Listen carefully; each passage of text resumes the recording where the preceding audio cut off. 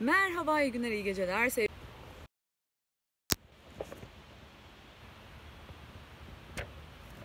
Merhaba, iyi günler, iyi geceler. Sıkıntı yaşıyoruz bağlantıda. Bugün 9 Mayıs 2020 tarihini gösteriyor. Yine takvim yaprakları ve saatlerde 6'yı geçiyor Pasifik zaman dilimine göre. Sizlerle buluşuyorum her zaman olduğu gibi. Nasılsınız, iyi misiniz? Sağlıklarınız yerinizde mi? Hepiniz iyisinizdir. Öyle umut ediyorum. Ben yürüyüşe çıktım.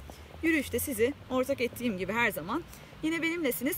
Neler yaşandı bugüne kadar, gelişmeler neler onları konuşacağız. Şöyle bir şey var, sabah bir e, röportaj gerçekleştirdik. Futbolun tarihçesiyle ilgili. İşte futbol ne zaman geri dönecek, neler yapılacak? Bununla ilgili Hürriyet Hürriyet Gücer bize katıldı ve çok da güzel bir sohbet gerçekleştirdik.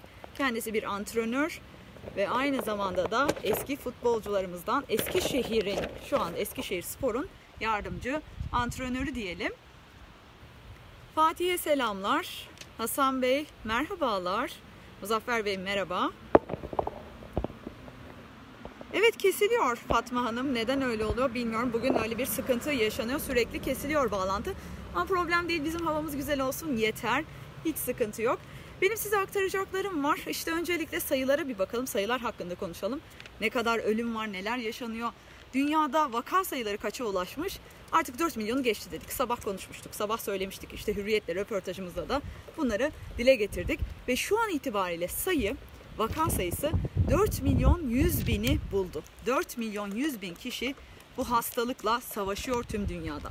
Ölümler ise yine artmış durumda onu da söyleyeyim. 280.431 kişi hayatını kaybetti bu hastalık nedeniyle.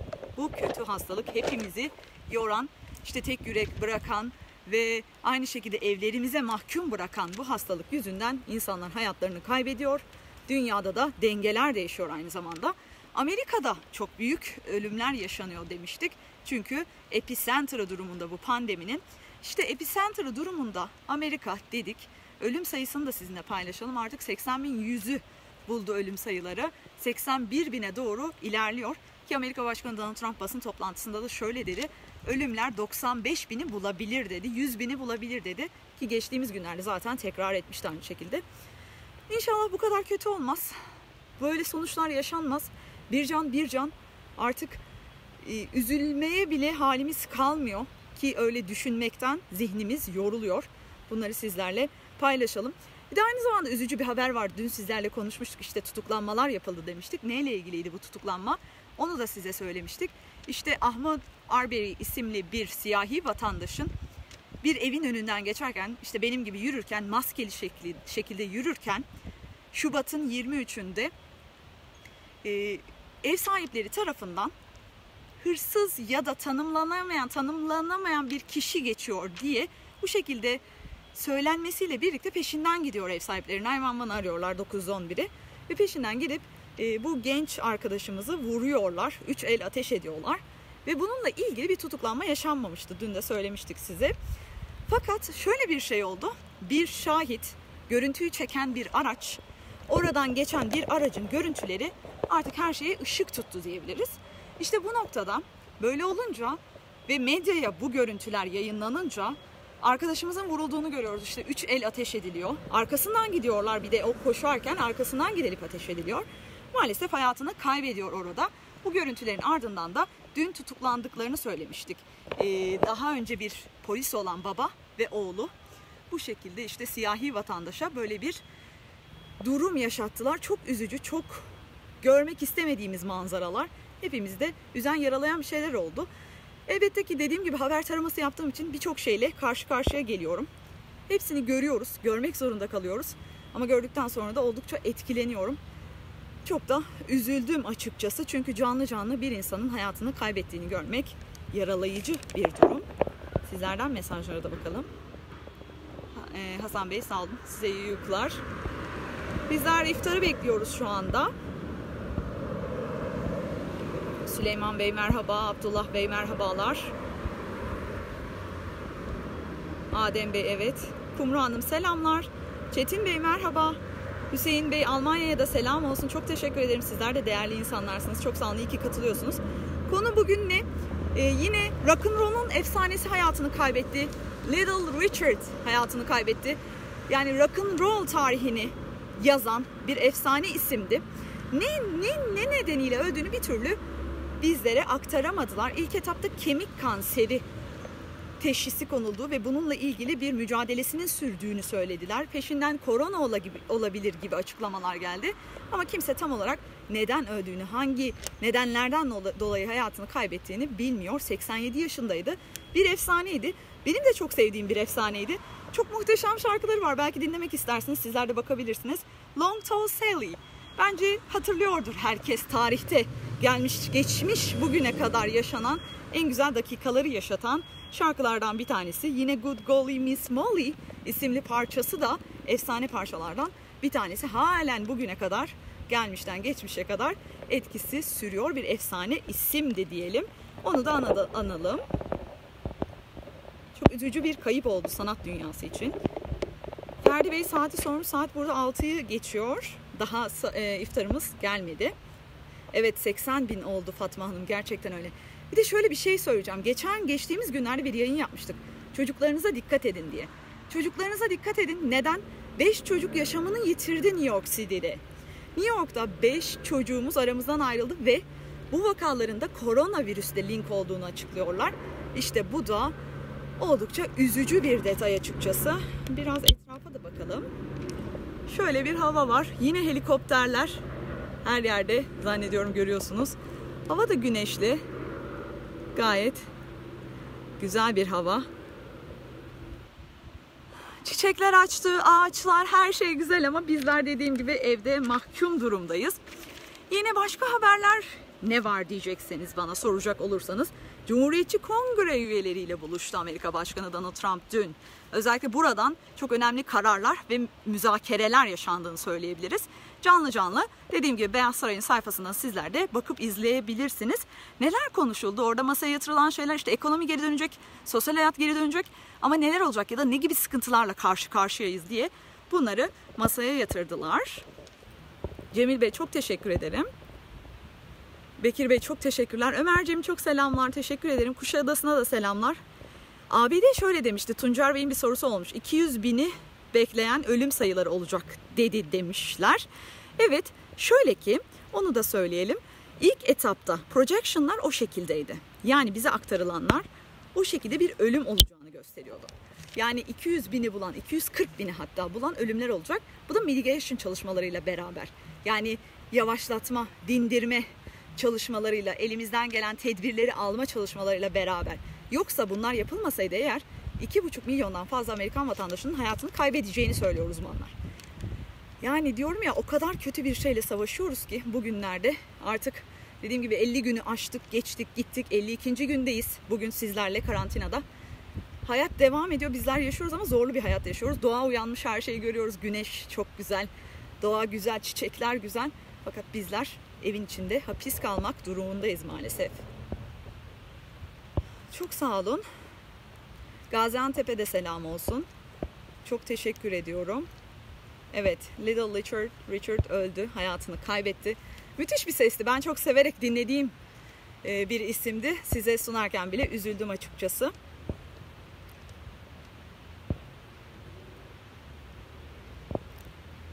Osman Bey çok teşekkür ederim. Başka düşünüyoruz neler var neler var. Hemen onlardan söz edelim. Bugün aslında askeri liderlerle ve ulusal güvenlik takımıyla buluşma yaşadı Amerika Başkanı Donald Trump ama kısacık 40 saniyelik bir açıklama yaptı sadece ve dedi ki işte e, biz bir görüşme gerçekleştirdik. Ulusal çıkarlarımız adına güzel bir görüşme yaşandı diye açıklamada bulundu. Onun geniş metni ya da geniş çerçeveli bir açıklaması yoktu. Bunu da sizlerle paylaşayım. Başka neler var? Şöyle bir şey var. Anneler günü geldi neredeyse. Annemin anneler gününü kutluyorum. Herkesin anneler gününü kutluyorum. Ee, annesi olmayan dostlarımız da var. Annelerimiz var cennette olan. Onlar da Allah rahmet eylesin. Mekanları cennet olsun. Zorluklar yaşayanlar da var. Ama ailelerle ilgili şöyle bir gelişme kaydediliyor. Uzmanlar şöyle diyor. Artık aileler biliyorsunuz ki karantina günleri nedeniyle herkes bir arada anne olanların özellikle işte evde olan annelerle ilgili böyle bir kaliteli zamanı bir daha yakalayamayacaklarıyla ilgili açıklamalar yapıyor psikoterapistler. Ben de sizi bununla paylaş, bunları sizinle paylaşmak istedim. Bu da çok önemli bir makaleydi. CNN'de yayınlanan bir makale. Bir şey daha söyleyeceğim. Hastalık devam ediyor. Maalesef yankıları sürüyor. Halen hastalıktan kurtulabilmiş değiliz. Aşı çalışmaları devam ediyor. Evet var. İlaç da var. Ama şöyle bir makale daha vardı CNN'de. Benim ilgimi çekti açıkçası. E, mide yanması ilacı alanlar, günde en az iki kere mide yanması ilacı alanlar bu hastalıktan daha az ölüyor diye bir araştırma yapıyor uzmanlar. Yani mide yanması şikayetiniz varsa ve bununla ilgili belli başlı bilinen ilaçları kullanıyorsanız Amerika'da yapılıyor bu araştırma. Bununla ilgili işte bu kişilerin koronavirüs nedeniyle ölmediği saptanıyor. Oldukça ilginç, değişik bir çalışma olarak kaydettim ve sizlerle de paylaşmak istedim. Bence değişik, ilgi çeken bir çalışma. Ne olacak, nasıl olacak dediğim gibi her geçen gün beraber izliyoruz, gözlemliyoruz. Elon Musk'tan söz etmek istiyorum bir de. Elon Musk her gün bir gündem yaratıyor.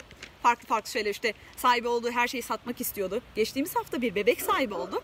Bebeğinin ismi çok ilginç. Hiç telaffuz etmeyi düşündünüz mü bilmiyorum. Ben sizler için biraz telaffuz etmeye çalışayım. Neydi ismi? X ile başlıyor. X ile yani. X AE A12. Çok ilginç bir isim. Peki bunu neden şu anda gündeme getirdik? Ben onu da söyleyeceğim. Yalnız bu AE yani Artificial Intelligence deniliyor. Yapay zeka ile ilgili olan kısmı Ash diye okunuyor diye kendisi daha önceki bir röportajında aktardı. X, Ash, A12. A12 de kendi e, yapmış olduğu çalışmalarından bir tanesi. Bununla ilgili şöyle bir şey var. Kaliforniya'da yaşadığı için ve çocuğunu burada kaydettireceği için Kaliforniya yasaları yalnızca alfabede olan harfleri kabul ediyor. Yani nasıl olacak diye bir düşünce herkese almış durumda. Gündem yeniden oluşturuldu. Ben de sizinle paylaşmak istedim. Elon Musk her zaman farklı şeyler yapıyor ve bu şekilde de gündeme geliyor zaten. Hepimiz biliyoruz.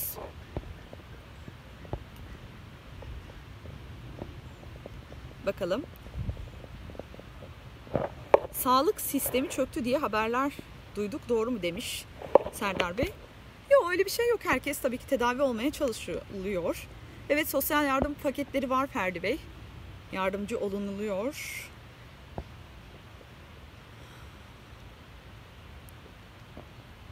Bursa'ya da selam olsun.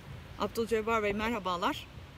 Avustralya'dan evet anneler günü inşallah. Bizler için yarın ama sizler için girilmiş oldu değil mi? Anneler günü vaktine saatine. Çok önemli. Değerlerini bilelim. Eğer annelerimiz yanımızdaysa özellikle değerlerini bilelim lütfen. Üzmeyelim. En ufak onlara acıyı göstermeyelim. Öyle rica edeyim sizden. Hepiniz kendinize iyi bakın. Sağlıklı kalın. Almanya değil Reşat Bey. Amerika'dayız biz.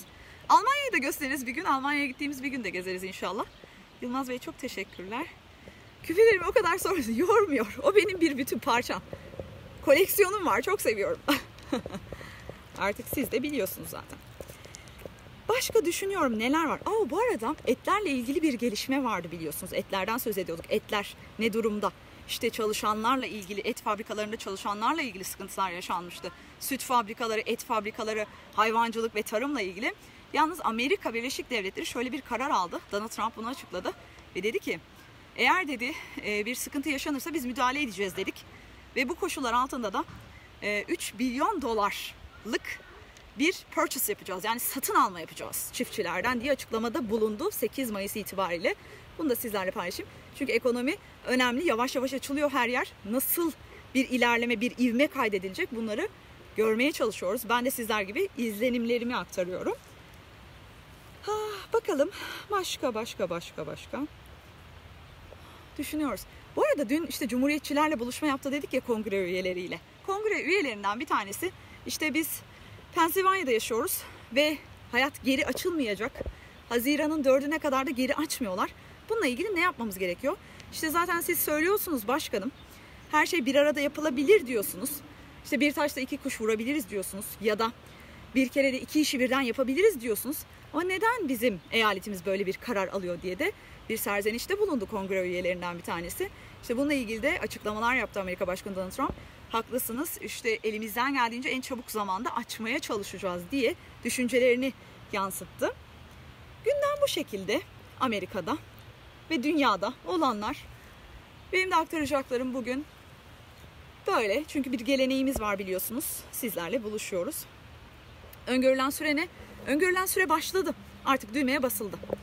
Yani süre başladı ve fazlar var biliyorsunuz. 3 faz. çoğu eyalet 47 eyalet ilk faza geçti. Yani 3 ayaklı bir sistemden söz ediyorduk. İlk faz başlamak üzere. Kimilerinde başladı bir hafta oluyor. Bundan sonra da 47 eyalet artık pazartesi itibariyle 47 eyalette bölge bölge başlamış olacak. Okullar açılıyor Fransa'da demiş beyefendi. Evet e, bu kadar kritik olmasın ama sizce normal mi demiş. Fransa'da evet yüksek derecede biliyorum. Fakat şöyle bir şey var Fransa'da da artık 30 bine yaklaşıyor ölümler. Yalnız Montana 80 bin ölüm var bize. Tabii ki nüfuslarla ilgili faktörler var. Hep söylüyoruz. Bizde 350 milyonluk bir nüfustan söz ediyoruz. Fransa tabii ki kıyasla çok farklı bir rakam.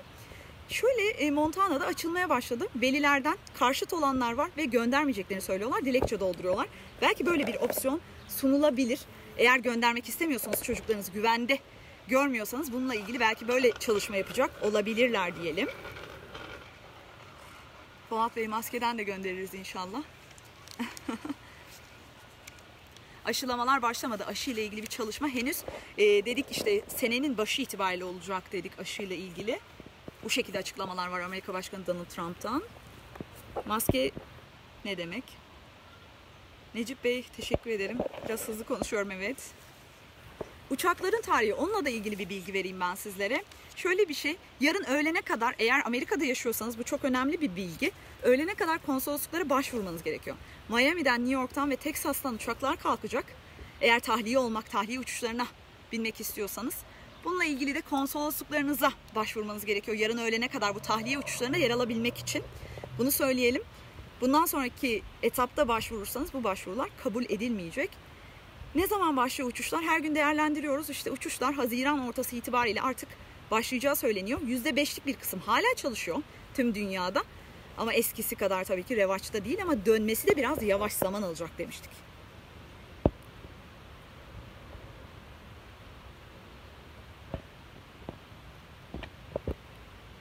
İşte bu kadar. Ozan Bey çok teşekkür ediyorum herkese. Aziz Bey sağ olun. İyi ki varsınız. Ali Bey'in bir sorusu olmuş. Bakalım. Çok sağ olun. Hepimiz kendimize dikkat edelim inşallah. Ekonomideki deprem etkileri hakkında söylentiler var. Tartışmalar yoğun gidiyor demiş. Yani ekonomide asıl e, çalkantılı dönemle ilgili tartışmalar şöyle Amerika'da. Nisan ayında işte büyük buhrandan büyük bir işsizlik olduğunu gördük ve e, küçük işletmelerinde teker teker iflaslarını verdiğini şu anda Mayıs itibariyle görüyoruz. Tabii bu ekonomide çökme mi? Hayır deniliyor. Uzmanlar da böyle de diyor. Çünkü neden? 1929 büyük buhranında insanlar hazırlıksızdı ve hiçbir şey bilinmeden bir anda tarih sahnesinde tepe taklak olmuştu ekonomi. Oysa ki şu anda her şey kontrollü bir biçimde yani devletler bunu bilerek, bunları göze alarak bu şekilde kararlar verdi ve bundan sonra daha sistematik bir yolda ilerleyecekler diye açıklamalar yapıyor uzmanlar. Ben de sizlerle paylaşıyorum. Forbes'a bakabilirsiniz, Business Insider okuyabilirsiniz, Wall Street Journal'daki makaleler hepsi bunu gösteriyor. Ben size bu şekilde özetleyebilirim. Tabii ki kayıplar olacak, kan kaybı oluyor, olacak diyorlar. İşsizlik de fazla. Fakat yardımlardan devamlılığını sürdürüyor. Bu şekilde size de açıklamamızı yapalım. Doların değerinde bir değişiklik oldu mu? Yok dolar dolar sonuçta burası Amerika. Hayır. Menderes Bey ne soru sormuştunuz acaba? Kusura bakmayın göremedim zannediyorum. Bakalım akışta bazen göremiyoruz. Bakıyorum ama yine göremedim. Menderes Bey'in sorusunu. Kusura bakmayın. Kerem Bey çok teşekkürler. Yavaş yavaş gideyim. Eğer sorarsanız yine cevaplamaya çalışırım ama